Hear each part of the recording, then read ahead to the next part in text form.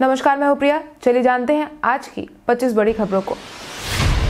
हवा का रुख बदलने से मौसम में कनकनी से मिली राहत। लगातार ठंड के बढ़ते असर ने लोगों की आम दिनचर्या को अस्त व्यस्त कर रखा था। मगर अब मौसम विभाग की माने तो जल्द ही लोगों को ठंड से निजात मिलने की संभावनाएँ जताई जा रही हैं। इतना ही नहीं, मौसम विभाग का यह भी कहना है कि पछुआ हवा के बंद होने के कारण मौसम में कनकनी का असर खत्म होता दिख रहा है। वहीं आने वाले एक दो दिनों में कई जगहों पर छिटपुट बारिश होने की भी संभावनाएँ जताई गई है।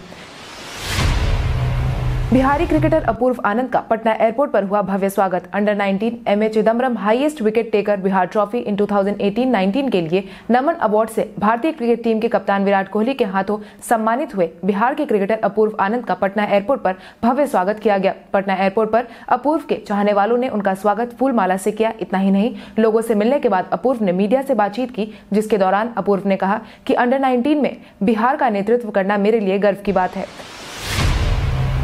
20 जनवरी को होने वाली सिपाही बहाली की परीक्षा हुई स्थगित। बिहार पुलिस सिपाही की 11,880 पदों के लिए 20 जनवरी को होने वाली परीक्षा को स्थगित कर दिया गया है। हालाँकि 12 जनवरी को किसी तरह यह परीक्षा ले ली गई थी मगर 20 को होने वाली इस परीक्षा के स्थगित करने का आदेश जारी किया गया है जिसके बाद अब अभ्यर्थियों को अगली तारीख के ऐलान का इंतज़ार करना होगा। वहीं शिक्षा विभाग ने परीक्षा स्थगित होने की मूल वजह अभी तक साझा नहीं की है।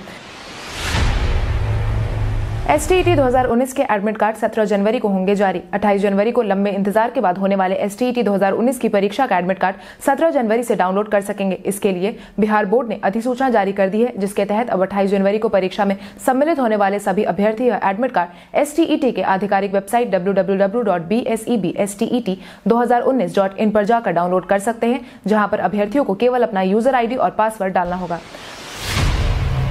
पटना में तकनीकी सहायकों की हुई नियुक्ति, जिसके तहत पटना के जिलाधिकारी कुमार रवि ने सभी उनसठ नवनियुक्त तकनीकी सहायकों की नियुक्ति पर मुहर लगाई है। साथ ही साथ, इन सभी नवनियुक्त तकनीकी सहायकों को नियुक्ति पत्र भी प्रदान किया है। आपकी जानकारी के लिए आपको बता दें, सभी नवनियुक्त सहायक मुख्यमंत्री नीतीश कुमार के गली नली योजना और ग्रामीण पेयजल निश्चय योजना को सफल बनाने के लिए किया गया है। इतना ही नहीं, इन दोनों योजनाओं के सफलतापूर्वक क्रियान्वयन के लिए अन्य छियानवे अभ्यर्थियों की काउंसलिंग भी की गई है, जिनमें से सत्तर अभ्यर्थियों का चयन किया गया है।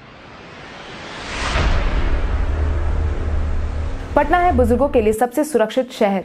ऐसा हम नहीं, बल्कि एनसीआरबी की जारी की गई नई रिपोर्ट का कहना है। एनसीआरबी द्वारा जारी की गई इस नई रिपोर्ट के अनुसार बिहार में भले ही बुज़ुर्गों के खिलाफ कई अप्रिय वाक्य होते हो, मगर राजधानी पटना, बिहार के बाकी सभी जिलों से ज़्यादा सुरक्षित है। इसके अलावा एनसीआरबी ने कानपुर को भी बुज़ुर्गों के लिए सबसे सुरक्षित शहर की सूची में जगह दी है। वहीं अगर हम महाराष्ट्र की बात करें तो महाराष्ट्र को इस सूची में सबसे आखिरी स्थान प्राप्त हुआ है। सहजन की खेती को बढ़ावा देगी बिहार सरकार। सहजन की खेती कर रहे किसानों के लिए खुशखबरी। अब बिहार सरकार इन सभी सहजन की खेती करने वाले किसानों को 50 प्रतिशत अनुदान की राशि देने का ऐलान किया है। आपकी जानकारी के लिए आपको बता दें, सरकार ने यह कदम सहजन के गुण और उपयोग को ध्यान में रखते हुए लिया है। इतना ही नहीं, सरकार का यह भी कहना है कि सहजन की खेती कर रहे किसानों की मदद करके स्थानीय के साथ साथ दूर दराज के बाजारों में सब्ज़ी के रूप में पूरे साल इसकी उपलब्धता सुनिश्चित कराई जा सकेगी, जिससे की किसानों को आर्थिक रूप से भी काफ़ी मदद मिलेगी। मार्च महीने तक गौतम स्थान स्टेशन का बदल जाएगा स्वरूप। छपरा वासियों के लिए अहम सूचना, जल्द ही उनके ज़िले का छपरा बलिया रेलखंड बदला बदला सा नज़र आने वाला है। रेलवे विभाग की माने तो मार्च महीने तक इस छपरा बलिया रेलखंड का क्रियान्वयन दोबारा से किया जाएगा, जिसके तहत कुल मिलाकर सौ करोड़ की राशि आवंटित की गई है। इतना ही नहीं, छपरा के न्याय शास्त्र के प्रणेता महर्षि गौतम ऋषि आश्रम से दो किलोमीटर दूर स्थित इस रेलवे स्टेशन के भवन को मंदिर का स्वरूप भी दिया जा रहा है।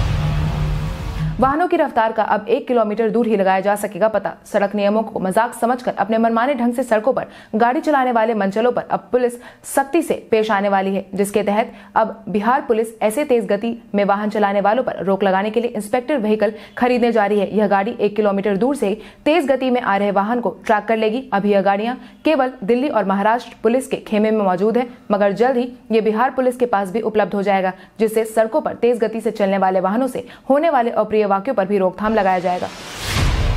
अब आइए जानते हैं बिहार की जानी मानी हस्ती के बारे में। आज हम बात करेंगे नरेश मंडल की। बिहार के समस्तीपुर ज़िले में जन्मे नरेश डायरेक्टर, एडिटर और प्रोड्यूसर है। नरेश को उनकी पहचान साल 2018 में लोक आस्था के महापर्व छठ पर किए गए उनके काम से मिली। इतना ही नहीं, नरेश मंडल ने तो कई मैथिली फ़िल्मों के निर्देशन में भी काम किया है। इसके साथ ही कई टीवी सीरियल्स का भी उन्होंने निर्देशन किया है, जिसमें तीन बहुरानियाँ जीवन साथी लागी तुझसे लगन, ये उन दोनों की बात है जैसे सीरियल्स के नाम शामिल है। जमुई के मिंटो टावर और माँ नेतुला मंदिर में आपको देखने को मिलेगा बहुत कुछ खास। अगर आप भी जमुई भ्रमण करने गए हैं तो जमुई के मिंटो टावर को ज़रूर देखने जाए। उन्नीसवीं सदी के प्रारंभ में आज़ादी के पूर्व लॉर्ड मिंटो के आगमन के सम्मान में यह टावर का निर्माण गिद्धौर रियायत के राजा महाराज चंद्रचूट सिंह के द्वारा उन्नीस सौ छह सात ईस्वी में कराया गया था। इसके अलावा आप सिकंदरा में स्थित माँ नेतुला मंदिर और खैरा के दुर्गा मंदिर भी देखने जा सकते हैं, जिनका ऐतिहासिक ही नहीं, पौराणिक महत्व भी है। प्रसिद्ध महोत्सव में यहाँ दशहरा में मनाई जाने वाली गिद्धौर महोत्सव की अपनी पहचान है। जिसमें हर साल विभिन्न कलाकार अपनी प्रस्तुतियाँ पेश करते हैं।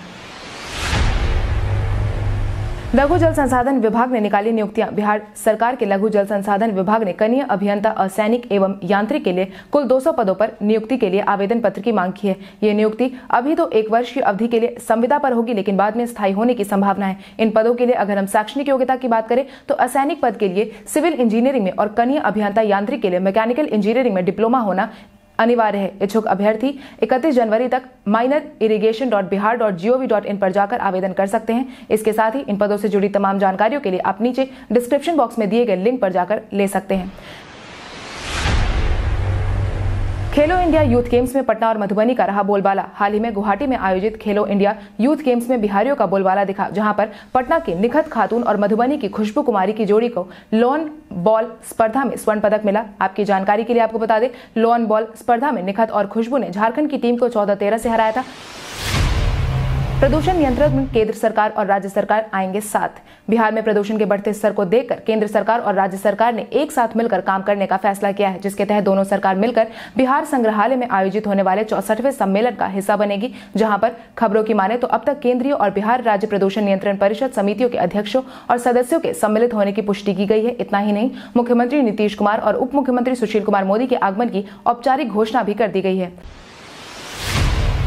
सीए के समर्थन में विपक्ष को घेरा गिरिराज सिंह ने। अपने संसदीय क्षेत्र बेगूसराय में सीए के समर्थन में आयोजित एक सभा को संबोधित करने के दौरान भाजपा के बड़बोले नेता गिरिराज सिंह ने विपक्ष पर जमकर बयानबाजियाँ की, जिसके तहत उन्होंने कांग्रेस पर तंज कसते हुए यह कहा है कि सीए पर विपक्षी सरकार लोगों को भ्रमित करने का काम कर रही है। उन्होंने आगे कहा है कि कांग्रेस की यही मंशा है कि वह पाकिस्तान से आए हिंदुओं को भारत में आशा न मिलने दे पाए, मगर हमारी सरकार घर घर जाकर कांग्रेस के इस कदम पर पानी फेर रही है।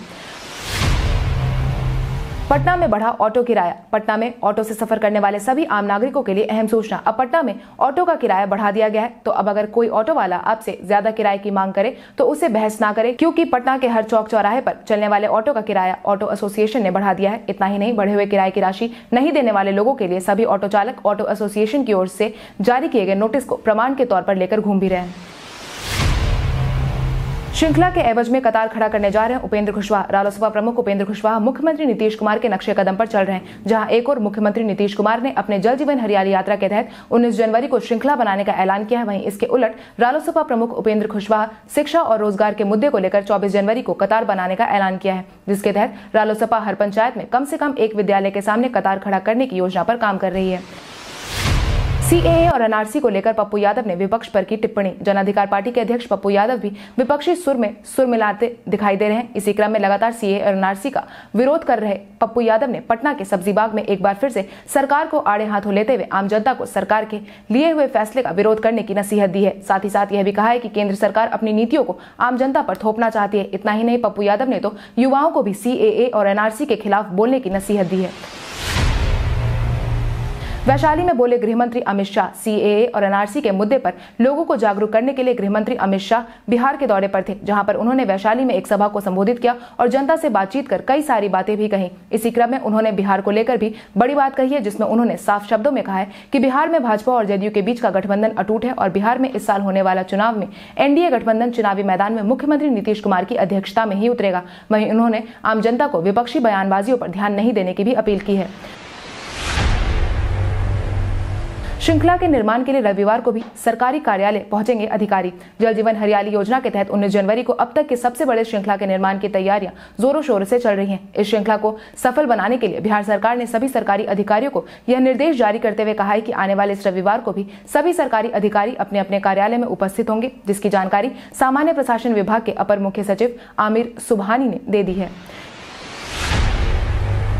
केजरीवाल सरकार के चुनावी प्रचार की बागडोर संभाली प्रशांत किशोर ने। जदयू के वर्तमान उपाध्यक्ष प्रशांत किशोर ने अगले महीने फरवरी में होने वाले दिल्ली विधानसभा चुनाव में आपका हाथ थामा है, जिसके तहत अब प्रशांत किशोर दिल्ली विधानसभा चुनाव की रणनीति बनाने में जुटे हुए हैं, जिस पर राजनीतिक बयानबाजियों का आना भी स्वाभाविक है। इसी क्रम में राजद नेता तेजस्वी यादव ने प्रशांत किशोर पर टिप्पणी करते हुए कहा है कि वो राजनेता नहीं, बल्कि एक प्रोफेशनल है। उन्हें जहाँ अपना फ़ायदा दिखेगा, वो वहीं काम करना ज़्यादा पसंद करेंगे।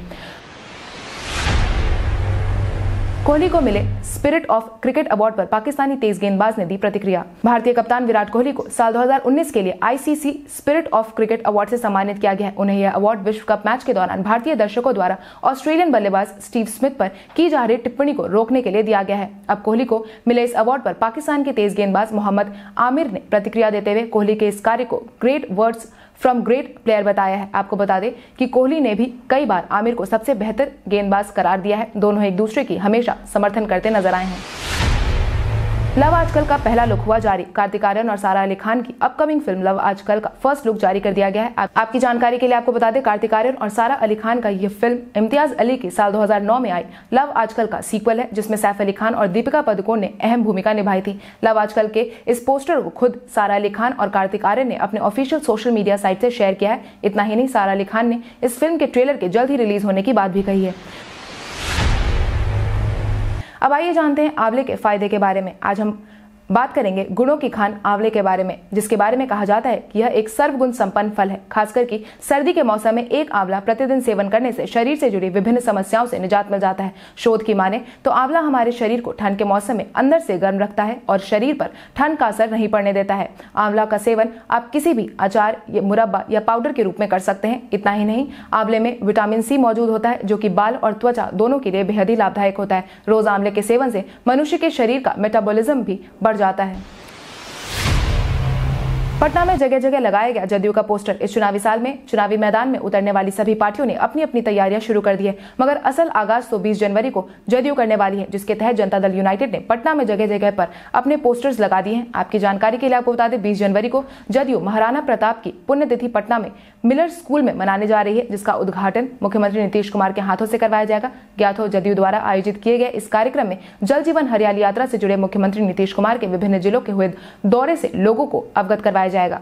तो चलिए बढ़ते हैं आज के सवाल की ओर। तो आज का सवाल कुछ इस प्रकार है। आज भारत और ऑस्ट्रेलिया के बीच खेले जाने वाले मैच में भारत को कौन सी रणनीति बनानी चाहिए? अपने जवाब हमें कमेंट करके ज़रूर बताएँ।